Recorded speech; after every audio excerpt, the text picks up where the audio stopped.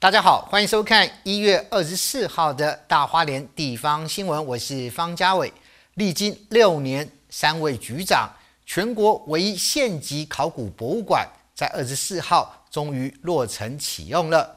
而包括县长徐正卫、文资局副组长吴华忠、成功大学考古研究所的特聘教授和地方人士都到场来祝贺，期待考古文化馆的成立能够让民众。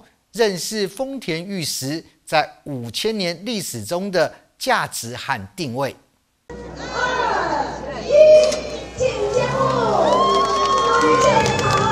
花莲县及考古文化馆历经六年时间，从规划到完成，二十四号上午举行开幕典礼。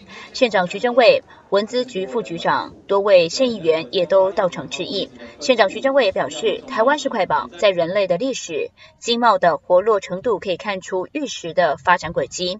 考古文化馆的成立是历经多任的局长的努力，才能够成就今天的考古文化馆。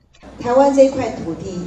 非常非常的珍贵，尤其是我们现在踏在这个土地上，到底这个在地层的下方有什么？地表是古迹，地表以下是虞姬，然后呢，在以前更是带领着整个台湾经过地质的变动，经济经过人类文化的发展以及经济活络的轨迹。让我们值得让我们去探险，值得让我们去理解。所以在这里，我们真的很荣幸，也很高兴，在一百零四年傅昆吉县长任内的时候，跟文化局陈局长，我们争取了这个考古博物馆的规划，到现在一百一十年，今天是一月二十四号，真的是历史的一刻。文资局副局长吴华总也说，考古文化馆有三个非常重要的功能：展示、教育、典藏。而从历年的考古文物当中可以看出，玉器是这些文物中最多数量的，所以花莲县考古文化馆具有相当重要的培育考古人员的角色。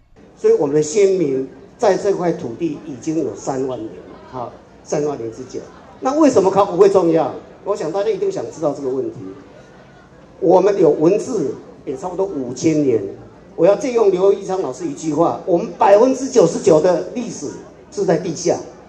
哦，这是刘一昌老师给我的训示。我想他讲的一点都没有错。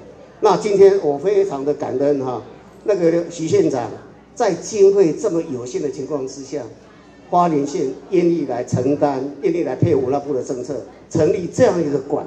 这样馆，我想这个馆虽然规模不大。但是它象征着三个意义，第一个，它有展示、教育、典藏，哎的功能；第二个，很重要是培养地方考古人才的一个据点；第三个，地方的产、地方出土的文遗物由地方来典藏，这可以彰显地方的特色。开幕的考古文化馆展现了花莲史前文化的精彩面貌。从一月二十四号至二十五号起开始试营运，试营运期间民众是免费参观。记者林杰寿丰乡采访报道。